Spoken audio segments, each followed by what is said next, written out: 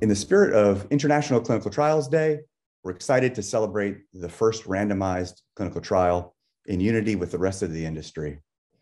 As a pioneer in decentralized clinical research, we're very proud of the advancements that we're making today to democratize clinical research, enabling universal access to anyone, anywhere.